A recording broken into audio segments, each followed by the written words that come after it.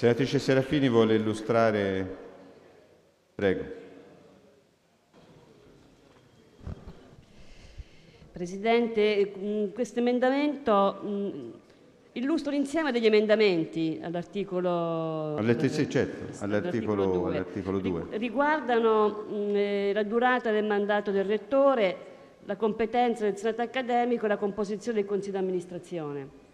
Per quanto riguarda il primo aspetto, la durata del mandato del rettore, noi si ripristina con l'emendamento 226, si ripristina, che la, la lettera D dell'articolo 2, si ripristina quel testo della Camera che prevedeva eh, non un unico mandato di otto anni, ma prevedeva anche la possibilità di due mandati di, di quattro anni, non superiori agli otto anni. Quindi ripristiniamo il testo della Camera dando l'opportunità sia di un mandato di sei anni sia di due mandati non superiori agli otto anni. Per quanto riguarda l'articolo 232 che riguarda sempre il mandato del rettore, si dice che non- non- il periodo non può essere cumulabile con mandati svolti in altri eh, atenei. Rispetto alle competenze del Senato accademico, alla lettera E dell'articolo 2, noi qui eh, ripristiniamo il testo del Senato e eh, sopprimiamo la parola obbligatorio data alla competenza a formulare proposte e pareri in materia di direttive di ricerca, perché come è stato discusso in commissione, apporre il termine obbligatorio al, parere significa che ogni volta dovrebbe essere, perché o c'è una competenza a formulare e allora non c'è bisogno di apporre l'aggettivo obbligatorio oppure no. Così come ehm, eh, al 246, al comma 1, alla lettera E, ripristiniamo una semplificazione che era già avvenuta alla, alla Camera.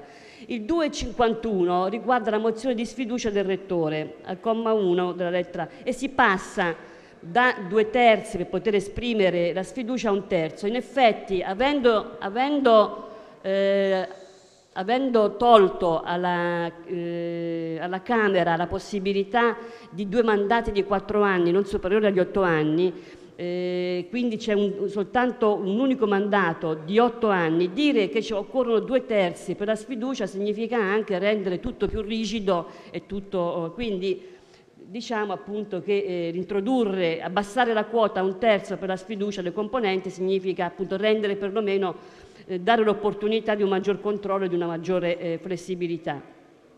Poi nel 256 ritorniamo il- sempre il parere, la- l'aggettivazione di obbligatorio al parere per le motivazioni che ho dato, così come richiediamo di ripristinare il testo del Senato al 262 al 276.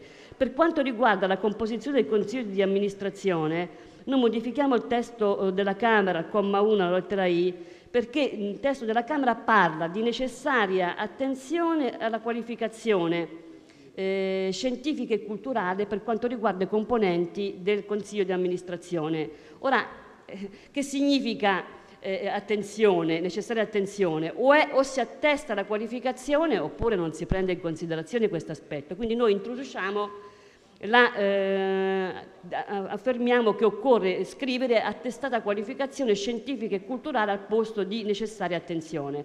Ecco, per quanto riguarda l'articolo 2, per ora mi limito a esprimere, a illustrare questi emendamenti. Grazie. Grazie senatrice Serafini. A questo punto io ora sospenderei perché gli interventi sono- hanno a disposizione 10 minuti, quindi è chiaro che se uno parla 10